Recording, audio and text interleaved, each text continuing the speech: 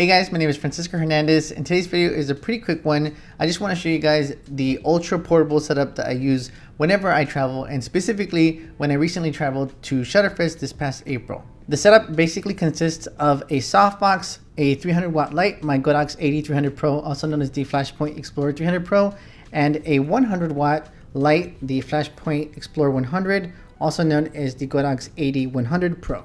I am going to show you guys exactly how that looks like, all the setup combined when it's fully set up. But I wanted to let you guys know that today's video is actually sponsored by Adorama. Adorama is an industry-leading retailer that has been serving photography, videography, and audio customers for almost 50 years now. Their motto is everyone is a creator and they do their best to unleash that creator within us all by providing us with the tools and expertise necessary to get the job done. I personally shop at Adorama for both the great deals on products I use and recommend, but also because of the great customer service on those products as well. If you find yourself interested in any products I talk about in today's video, then definitely check out the links that are going to be in the description area below and be sure to use those links if you decide to order any of them.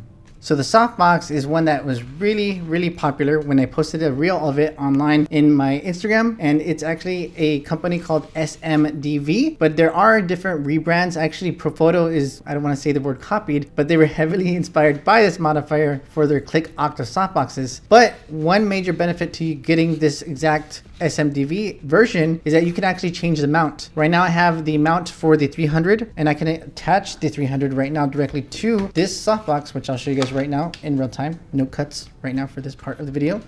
And it's attached already. It's attached and that's exactly how I used it at Shutterfest. I had the 300 attached to it, the softbox as the main light. And in case I ever needed any sort of rim light, that's when I put my 100 Pro right here. I attached it to my Manfrotto nan nano stand, which is a pretty nice portable light stand.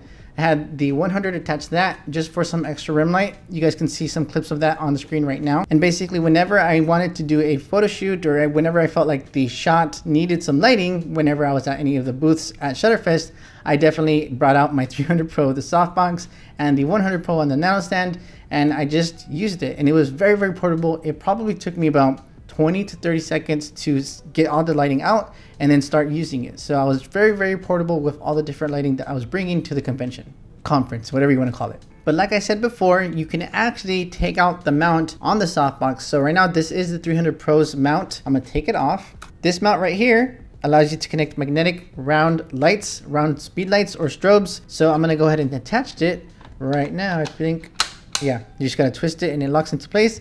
And now I can attach my 100 Pro and it's perfectly in there. And it is a good, yeah, it's pretty nice and tough in there. The magnets are not weak by any means, but I'm gonna take that out. And like I said before, you can actually use the round head uh, V1. So I'm gonna put that in there as well. And take that out. You can also actually use regular speedlights as well. So again, I'm gonna just take out the mount and then put in this mount right here, which allows you to connect regular speedlights or even mini speedlights like the I think it's called the V350, which is the lithium ion mini speedlight that Flashpoint Godox sells. So let me just put that on there.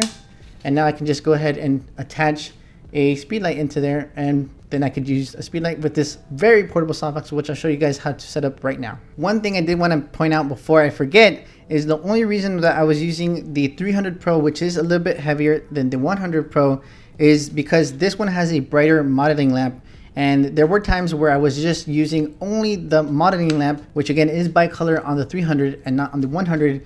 And basically whenever I needed just a hint of light, that's where the modeling lamp came in handy. And I only used just the lamp on the 300 Pro. So if I was wanting to shoot with just without any sort of lamp at all, and I wanted to be very, very portable, then that's where the 100 can easily attach to it like I showed you guys earlier you guys can see the full width of it the whole you know the light thing light expanded and everything you guys can see it. This is actually the 20 inch version of this softbox but they actually have i believe 24 28 i think they just released a 32 inch version. Could be wrong but i think there are four different versions. So 20, 24, 28, maybe 32. But this is actually the double diffused white interior version of this softbox. But they actually just came out with a couple other different versions of this exact same 20 inch, but with a silver interior and a beauty dish plate so that you can get a little bit more punch, but still soft light. Again, here is the 100 Pro with the softbox.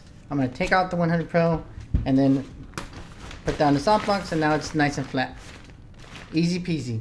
I was pretty much walking around Shutterfest the entire time with a backpack. And in the backpack, I think I had two 300 Pros and two 100 Pros with some spare batteries for both of those lights as well. And I had the softbox attached to one side of the backpack and then the Manfrotto Nano stand on the other side of the backpack. And that's pretty much it for this video. I just wanted to show you this very portable setup because I have talked about this setup in messages on Instagram and other areas, but I never really showed you guys here on YouTube exactly what this setup is.